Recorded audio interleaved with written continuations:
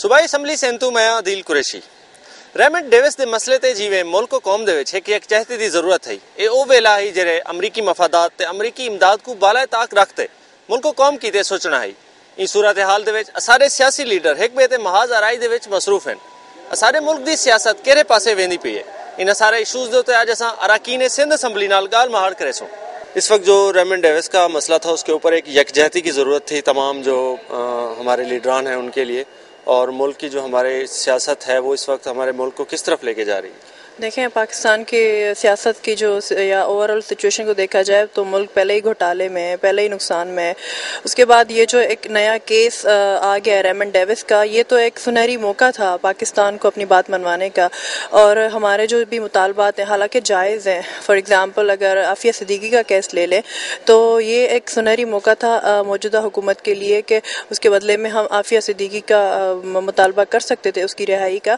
پر یہ بھی نہ ہوا تو افسوس کی بات ہے۔ اس کے بعد کیا ہو سکتا ہے؟ کیا پازیٹیو تھنگ ہے جو ہو سکتی ہے؟ ملک کی حالات الحمدللہ بہتر ہے ماضی کی بنسبت اس وقت دیکھیں ملک میں فلڈ آیا ہے تو وہ قدرتی ایک علامت ہے آفت ہے۔ اس کو سندھ گورنمنٹ ہمارے آنریبل چیف منسٹر کس طرح کنٹرول کیا ہے؟ اور سندھ میں ان کو ریبلیٹیشن کا کام شروع ہے چل رہا ہے وہاں پہ۔ اور سروس جابس جو ہے وہ سندھ گورنمنٹ دے رہی ہے پاکستان گورنمنٹ دے رہی ہے۔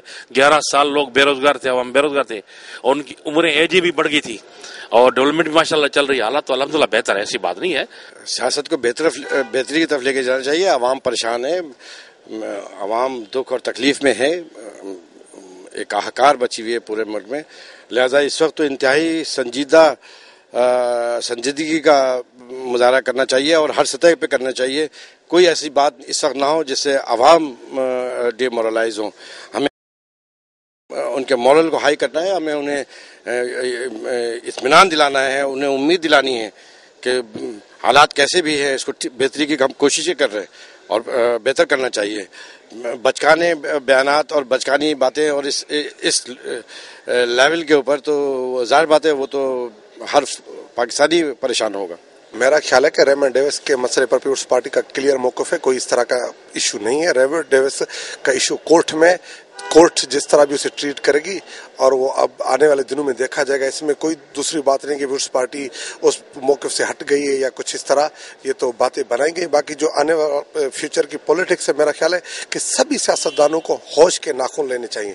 اگر اس مرتبہ ہم سیاستدان کچھ بہتر نہیں کر سکے تو پھر اور دس گیارہ سال ہم پھر انتظار کرتے رہیں گے آنے والے اچھے دنوں کے لیے۔ تو میرا خیال ہے اس ملک کے کا فائدہ اس میں ہے کہ ڈیموکریسی ہو، یہ پروسیس چلتا رہے۔ آنے والے الیکشنوں کا آپ انتظار کریں۔ جس طرح وہ آپ دیکھ رہے ہیں، آج کل پنجاب میں ہو رہا ہے، یہ کچھ اچھا نہیں ہو رہا۔ یہ پھر چھانگا مانگا لگ رہا ہے۔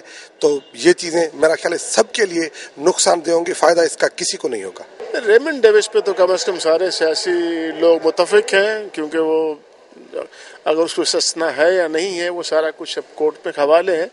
جو بھی کورٹ فیصلہ کرے گی، اس پہ نواز شریف بھی راضی ہیں، اس پہ پیپلز پارٹی بھی راضی ہے تو اس پہ تو کوئی اختلافات نہیں ہے باقی اور اختلافات ہوں تو اور بات۔ حکومت اگر اپنی اکثریت میں ہے تو جلتی ہے، اگر اکثریت میں نہیں ہوتی تو نہیں رہتی۔ یہ تو ساری دنیا میں سر چل رہا ہے۔ ظاہر ہے کہ اپوزیشن چاہتی ہے کہ ہم حکومت کریں۔ حکومت چاہتی ہے کہ انہیں مینڈیٹ ملا ہے ہم اپنے سال پورے کریں۔ ملکی سیاست تو جن لیڈران کے ہاتھ میں بدقسمتی سے جن کی طرف اشارہ کر رہے ہیں، ان کی پرائرٹی نمبر ون ملک نہیں ہے۔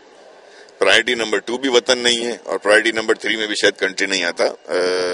جب آپ اور میں اور پاکستان کا ایک عام شہری اس بات کو اچھی طرح سمجھتا ہے کہ پاکستان مشکلات میں گرا ہوا ہے، پاکستان سیاسی مشکلات میں ہے، پاکستان معاشی مشکلات میں ہے اور پاکستان دفاعی مشکلات میں اور پاکستان کے اوپر پریشرز بہت زیادہ ہیں، دہشت گردی کے بے روزگاری کے، مہنگائی کے۔ یہ تمام وہ پریشرز ہیں جو لوگوں کو مل جل کر حل کرنے ہوں گے۔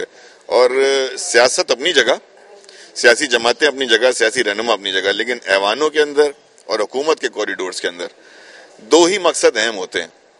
ایک ہوتا ہے وطن کی حفاظت کرنا، اس کی بقا اور سلامتی کے لیے اپنی جانیں قربان کرنا، یہ حکومت کا اولین فرض ہوتا ہے۔ نمبر دو اس کا فرض یہ ہوتا ہے جو کہ ایکولی امپورٹنٹ ہوتا ہے کہ اپنے شہریوں کو تحفظ فراہم کرانا روزگار کے مواقع فراہم کرانا اور ان کے لیے بنیادی سہولیات مہیا کرنا۔ لوگ تو سیاست چمکانے کے لیے ایسے ہی بیان دیتے رہتے ہیں۔ ہمارے صدر صاحب نے کہہ دیا کہ یہ کورٹ میں معاملہ ہے جو کورٹ فیصلہ کرے گی۔ وزیر اعظم گیلانی نے بھی کہا ہے انہوں نے بھی امریکہ کے خود صدر کو کہا ہے انہوں نے فون پہ ان سے بات کی تھی کہ بھائی یہ کورٹ کا معاملہ ہے وہ کرے گی ہم نہیں کر سکتے۔ جو کورٹ جو فیصلہ کرے گی وہ سب کو قبول ہوگا۔ اس وقت موجودہ جو صورتحال ہے ویسے یہ جو محاذرہ، یہ تو اچھی نہیں ہے جمہوریت کے لیے اور جس طرح اتحاد کو لیشن تین سال گزر چکے ہیں، لیکن جو ہمارے بنیادی مسائل ہیں، ہمیں اس طرف توجہ دینی چاہیے۔ ویسے جو آج کل بے روزگاری ہے، غربت ہے، مہنگائی ہے، یہ بہت بڑے پرابلم ہیں۔ اور یہ ہمارے مستقبل میں ہمارے لیے مسائل پیدا کریں گے۔ تو ہمیں جو بنیادی چیزیں ہیں، جیسے ابھی میاں صاحب، نواز شریف صاحب نے جو نکاتی ایجنڈا پیش کیا، ڈیڑھ لائنوں کے بجائے وہ بیٹھ کے یہ مسائل دیکھیں۔ کیونکہ اس وقت جو حالات ہیں، یہ ملک میں سب کو پتا ہے۔ اراکین سندھ اسمبلی دی گال مہارتے تو سان سن چکے ہو سو۔